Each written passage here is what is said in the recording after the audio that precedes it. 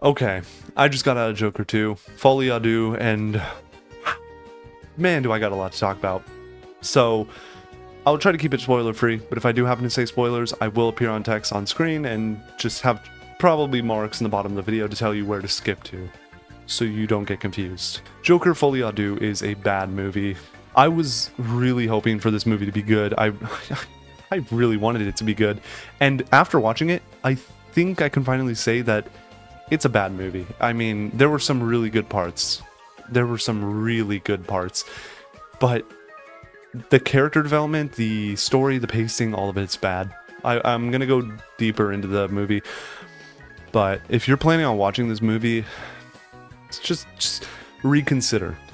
I will say from my experience when I went to the movie theater, we had I believe like hard to say like 9 people walk out of the movie theater midway through, which that's probably a world record. I didn't even see people walk out of the Star Wars The Last Jedi movie uh, premiere. And I will compare this movie to The Last Jedi. That's honestly how on par of a movie it is. The Last Jedi is around a 40%, and this is pretty accurate to what that is. Joker Folie à is a bad movie with Arthur Fleck and how he portrays Joker in this movie. He doesn't feel like Joker at all. He feels like a guy impersonating Joker. Uh, doing it worse than the Jongleur, honestly. The Jongleur genuinely probably brings you more fun and entertainment when watching this movie. I'm going to start off with the pros of this movie, and that is some of the musicals. Some of the musical songs are great, and I think the idea of a musical for Joker 2 wasn't a bad idea. I actually think that was a cool idea to make it like he's mentally insane or something. I think it, it could have worked. However, after watching the movie, none of it worked. In fact, it all was just falling apart. All the musical acts made no sense.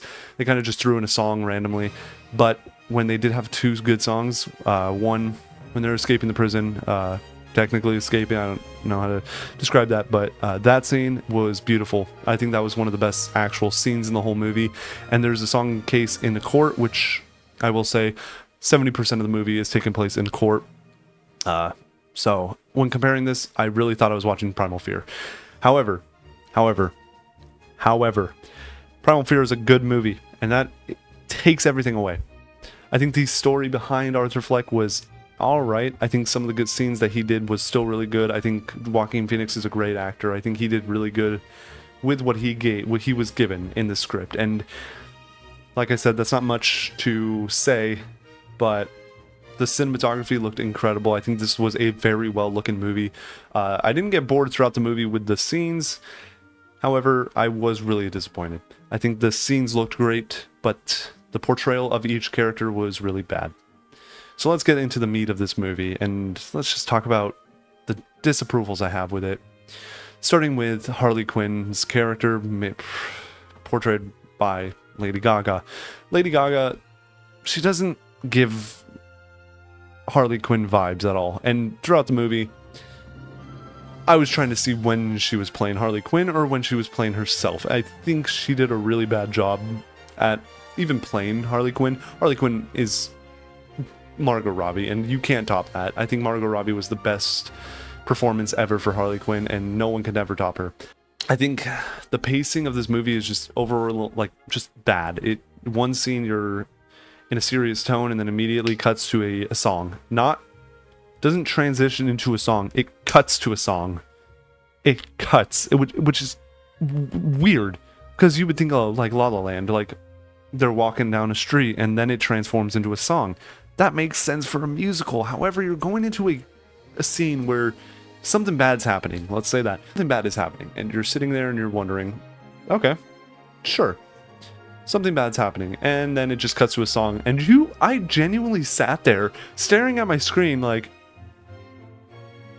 what? And I'm gonna I'm gonna keep all the spoilers for the end. Let's do that. Make it more easy. I think they ruined the Joker in this movie. And he didn't feel like the Joker, and even when he was portraying the Joker, he wasn't even acting the Joker. So the Joker was just some guy named Arthur Fleck who was like I, I don't know, man. Like it was confusing. He was he was not good. I think I think you have to like you're expecting like Joker one, and then you're expecting this movie. I wasn't expecting it. I was going in with low expectations, and yet I was still disappointed. So going from that, I think just thinking about how this character was developed was honestly just developed downward throughout the movie. He he progressively got worse throughout the movie, and that's saying something. And there was a scene where, going back to honestly good scenes, I think the court cases were really good, but like I said, it felt too much like Primal Fear. Uh, Primal Fear is a fantastic movie for anyone who has not seen it.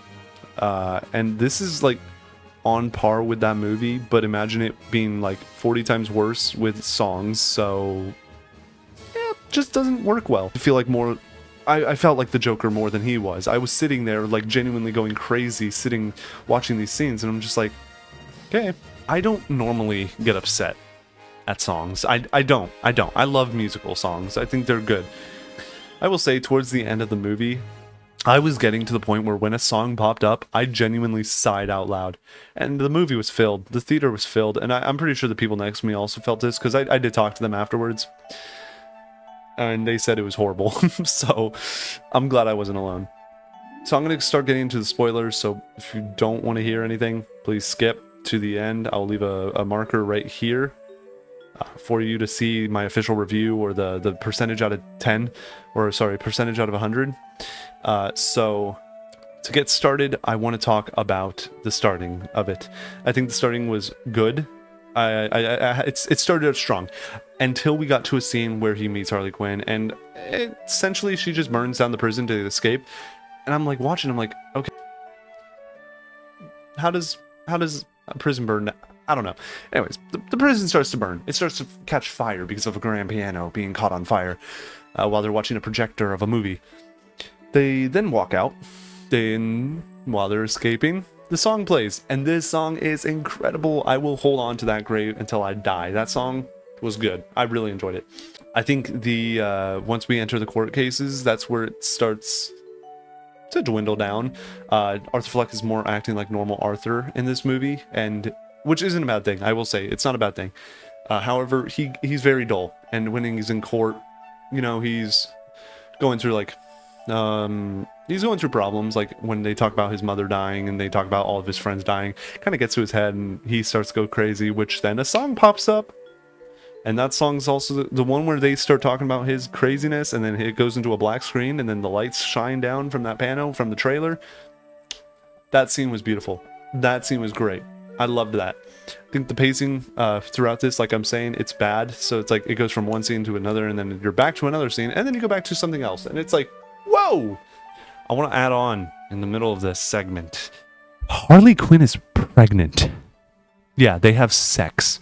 They do it they do it. They have sex. And what the okay, dude, dude, how did this guy how did this guy pull Harley Quinn? Dude, they met they I'm not even joking, they met like two days prior to this and they have sex and they're having a kid. Like what? The third act isn't much better. It in fact it starts off brutally. It, it's it's pretty bad. So it starts off where Joker finally reveals that he's not the Joker, he's Arthur Fleck impersonating a Joker. And and this goes into a case where Harley Quinn doesn't fall in love with him anymore and she kind of drifts away from him. And then she goes to her apartment. He calls her when he's back in prison because now he's going to get the death penalty. And she points a gun to her head, and you're like, okay, she killed herself. And that was a shocking scene, I will say. I was kind of expecting it, but happened. Uh, after that, we see him in court. We see Arthur, uh, Arthur Fleck in court, and out of nowhere, an explosion happens. And as they traverse out, uh, he gets kidnapped. He runs out and finds Harley. She's alive.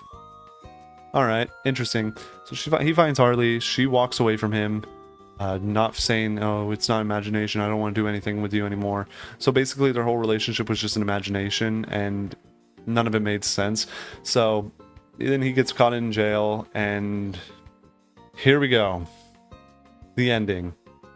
One of the worst endings I've ever seen. Joker gets called by somebody.